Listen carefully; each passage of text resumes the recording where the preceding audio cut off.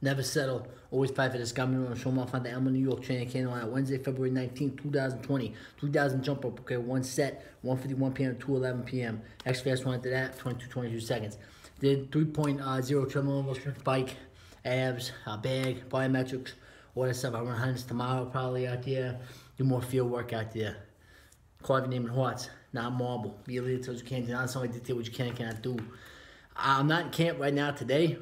And it's frustrating still being here in Canton, Ohio. I said this stuff, I put this stuff in my story, put this stuff every single day. But like I said, you have to be ready every single. I'll knock on every single door. Hopefully, God, you know, I believe and stuff will happen like it did last year, but hopefully, uh, I believe it will be earlier than June. Okay, earlier than June. Be ready for that. No matter where it is, my son is, seems my girl is, seems to be the top wide receiver you can in the league every single day. Best slot wide receiver I can be, as far I can be every single day. Okay, hard, push through and show it. No matter what, push through every day.